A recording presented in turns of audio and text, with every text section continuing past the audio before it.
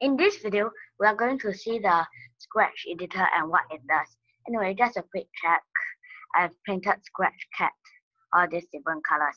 These two colors and these two colors seem the same.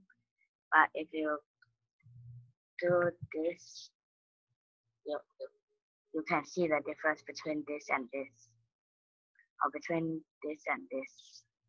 Anyway, now let's just go to the Scratch editor and this is how the sprite looks. We are going to do vector mode first. Later we are going to learn about bitmap. Vector is just basically selecting. You can select scratch cat. You can disassemble uh, apart scratch cat.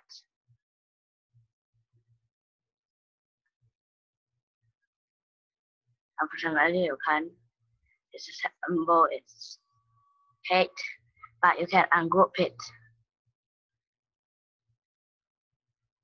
And all right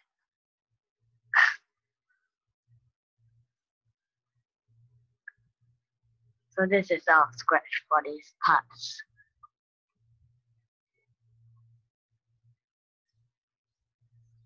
This is also actually grouped so that we can remove that out all right, now this is a reshape. To do this, we're going to, let's just grab this eye over here. And we can drag this eye and change the shape to an eye like this.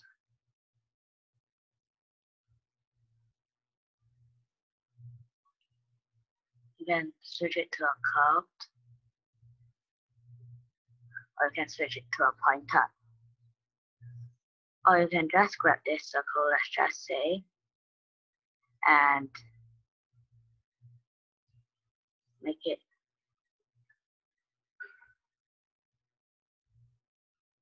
an arrow. You can also add points and have some fun reshaping.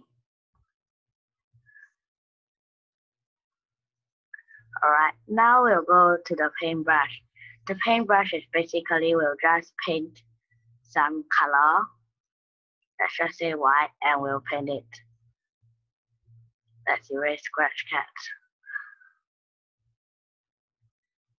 Alright, this is the eraser.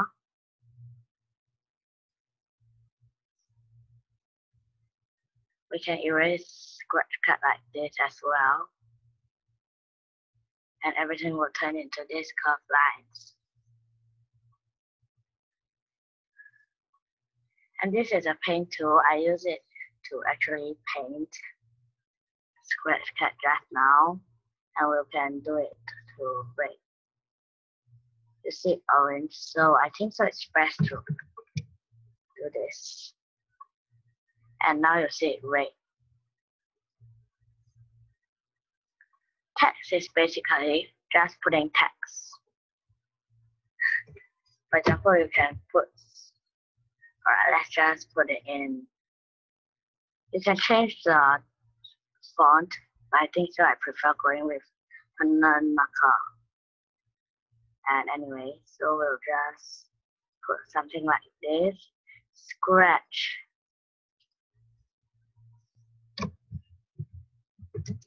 Cat this them um, both.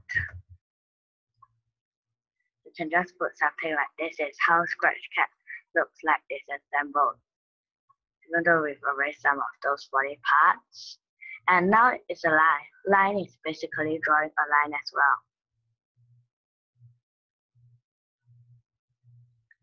But you can draw a line like that. Or just randomly do some lights. And circle is also basically a circle. Actually, it's actually a oval. But if you want to get a circle, you click Shift button, and now you get a circle.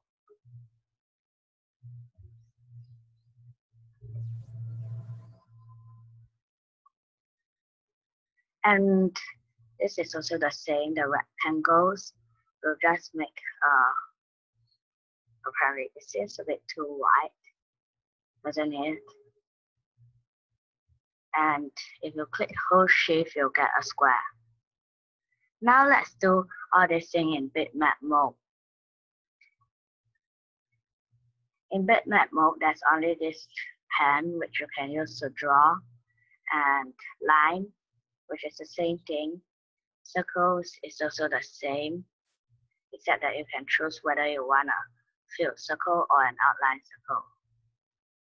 And you'll change the thickness one. Let's put it in. So rectangle is also the same. You can choose a filled rectangle. Text the same. Fill is also the same. Select is pretty much the same, but it's not 100% the same, unlike eraser. So you can select this part and start playing Lego. You can put this over here in this circle, and you can put this part over here, and you can really disassemble things. Alright, so that's the end of this video. Thanks for watching. If you like it, please subscribe.